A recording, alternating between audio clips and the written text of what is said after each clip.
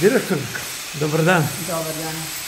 Imate mnogo obaveza, dogovaramo se već duže, međutim, juče ste bili u Beogradu, napravljen je dobar posao, o tome ćemo drugom prilikom da govorimo, ali ono zašto smo svi mi piroćanci nekako emotivno vezani još od 1. maja, to je ovo ovde gde stojimo prvomajski cvet.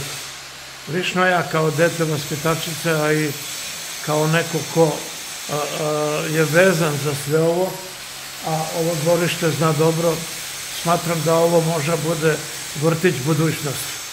E, vi ste krenuli, ovo je prvi iskorak važniji, mada vidim da je nešto rađeno. Generalno, šta ovo znači za vas? E, pa, mi smo već duže vreme planirali ovaj, sređivanje vrtića Prvomestski cvet.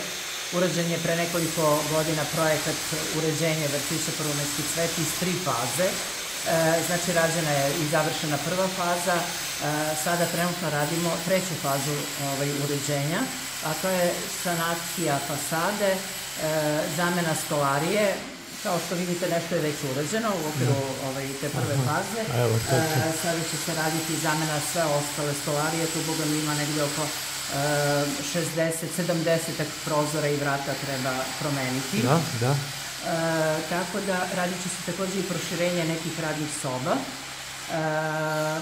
praktično će se povećati površina soba na račun balkona koje malo koristimo s obzirom da mi imamo izuzetno dvorište ovde, veliko dvorište. Dvorište je negde površine oko 3000 metara, tačnije 2900 metara kvadratnih i e, ta neka druga faza radova podrazumeva kasnije i uređenje dvorišta kada budemo dotle stigli, već imamo projekat za uređenje dvorišta.